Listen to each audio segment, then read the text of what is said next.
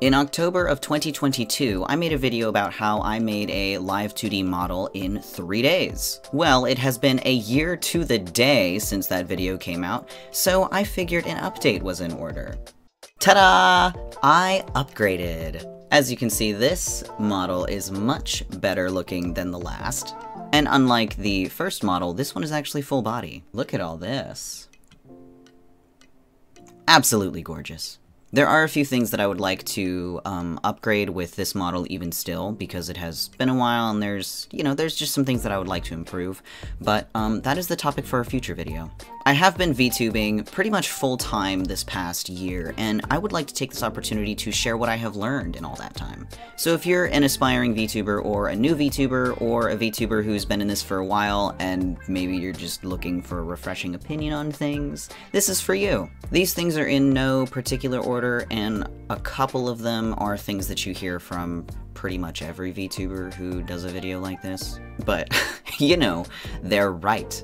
So I suppose the biggest thing that I have learned in my years of VTuber is the importance of building relationships and networking. When I started, I would watch videos and I would listen to advice that other VTubers had been giving, and every single one of them would say that you need to network. Networking is important. It's your number one priority. Please talk to people. And I did not take that seriously. I, as a person, very strongly believe that I can do everything by myself, that I do not need the help of other people, and that I can just be a one man army in every single respect, no matter what I'm doing. And that's, first of all, it's just not true, but it is very much not true, even more so, in the VTubing community. Making friends, making connections in the VTubing community is so important. Making friends is intimidating, but it's actually really easy on the internet. All you need to do is go and comment on somebody's tweet or you know, pay attention to their streams, be active in their chat. It does not take a whole lot of effort to build connections and build friendships with other people, especially with other VTubers. Just rip the band-aid off, go into somebody's chat, say hi, engage with them, comment on their tweets, you know, if they have a Discord, join the Discord, and just join in the conversation because that's what everybody else is doing, and that is how you build those connections with people.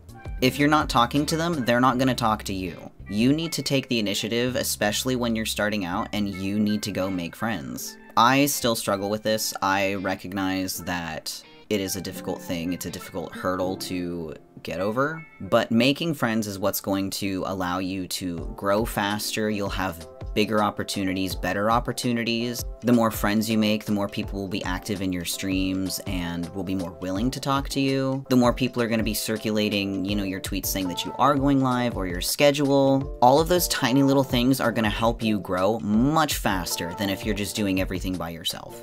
The second thing that I think I took way too seriously when I was starting off, I feel as though it is a common sentiment within the VTuber community that your model, your rigging, your overlays, your start screen, your transitions, that everything has to be as professional, high quality as possible in order for people to want to pay attention to you and to want to tune into your streams. But frankly, that is not. That is not the case. that is not the case at all. While the professional look does help, looking better or having a top-notch model, top-notch rigging, top-notch designer, any of that stuff does not guarantee that people are going to be interested in you. While a lot of the aesthetic draw is definitely to prettier models, really nice rigging, high dynamic movement, people aren't going to show up just because you look cool. When I upgraded from my previous Vitruvian Jay model to the one that you see now, I figured that having a nicer model was going to be one of the things that really would push my growth in an upward direction, and it literally had no effect whatsoever. It did not change a single thing. It made me feel better, it made me feel more confident, I was having a lot more fun, but potential viewers don't care what you look like. It's about your personality, it's about your humor, it's about how you engage with your audience, it's about the content that you're making, and it's about how you're connecting to the people who are taking time out of their day to spend it with you. So model quality and stream appearance doesn't really matter as much as you would think. So don't stress out if you don't have overlays and transitions and a super fancy model. People are there for you, not for what you look like. And that works as a really good segue into my next point, which is you need to become comfortable streaming to an audience of nobody. Growth is extremely slow, especially when you're starting off. You need to be emotionally and mentally prepared to stream to an audience of zero for months.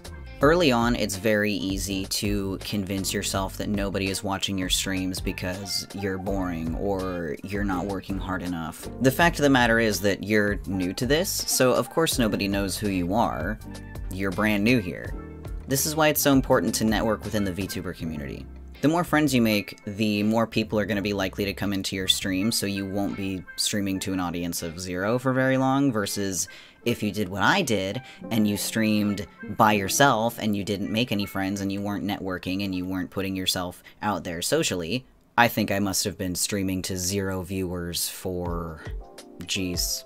I think I started off streaming three or four days a week, and I streamed to zero people in all of those three to four days a week for probably six to seven months because I was not talking to people, I was not making friends, and I was not letting people know that I was there. So yeah, you need to be okay with streaming to nobody for potentially a very long time. Eventually you will improve, but eventually you will improve. It's not going to be immediate. So don't expect it to be very fast. And along the lines of you needing to be ready to stream to nobody, one of the hardest moments of my entire VTuber path thus far has been my debut stream. It was actually when I debuted this model to use for the long term. I had queued posts, I made teasers, I had all sorts of promotional content, I had all sorts of material, I was marketing my debut for I think two months in advance for the date. I had like a 7 minute lore video that I had made with voice acting, I had a new scene transition, new overlays, I had everything you could possibly imagine for a debut ready to go. And when the day finally came, I streamed to two people. One of which was a friend of mine that I've had for many years who is in no way into VTubing or anything, and I think was just there for support. And honestly, it was really difficult. I did consider quitting after my debut, uh, despite all the work I'd put in, because I was so upset that I had done all of this work for nothing or for what felt like nothing. So after that, I took a step back and I sort of reevaluated why I was VTubing and I suppose what my long-term goals for it were. You know, I love playing video games. When people are in my chat and they do hang out, it is nice to talk to people. It's nice to share experiences with other people on stream. And I I just like I like having the VTuber model. I like being a pretty anime boy, you know. I I think it's a lot of fun. So yeah, even though the debut was a huge disappointment, and nobody saw all the hard work that I put into it, it almost didn't matter because I felt fulfilled from all the work that I had put in. I liked my lore video, I like my model, I like my overlays, I like the content that I'm making, and at the end of the day, that is what matters. If I like it, it doesn't matter if other people don't. That being said, the most important thing that I think I've learned throughout this whole year of VTubing is that you need to be doing this for yourself. If you're in it for validation or for the numbers or for money or for anything like that, you are going to be so disappointed so quickly and you're going to quit very, very fast. VTubing is difficult. VTubing is time consuming. VTubing is exhausting. Growth is extremely slow, even with the support of others. You will not go viral overnight. You will not make money off of this, which I understand is a very difficult thing for a lot of people to hear, but it's not all fun and games despite, you know, streaming being having fun playing games. It's not that easy. It's not that clear cut. It's not that simple. Don't do it for other people. Don't do it for the growth. Don't do it for the money. Don't do it for the attention. Do it for you because you want to do it. And on that, if you start VTubing, if you start streaming and you find that it's not fun or it exhausts you in a bad way and it's not fulfilling for you, then there's no shame in either going on a break or taking an indefinite hiatus or just stopping altogether. It's a lot and it's not for everyone. So if you want to give it a shot, then go for it and find your proper reasons for wanting to get into it and wanting to continue and put in the hard work, with the proper expectation and you will do fantastically. Or if you're in a rut and you're not sure if you want to continue VTubing, do some reevaluation. Think about why you started, think about things that you've enjoyed in your path so far, if there's anything that you want to change or something that you want to experience again. Whatever your reason is, you need to do it for you and not for anybody else for any reason. There are definitely other things that I've learned in VTubing in this past year, but I think those are really the big things. Maybe I'll make another video like this in the future if I think of some other really good points and noteworthy advice, but that's all I got for the time being. Like I said at the beginning of this video, I want to upgrade this model a little bit more. There's some things about it that I don't like and would like to fix.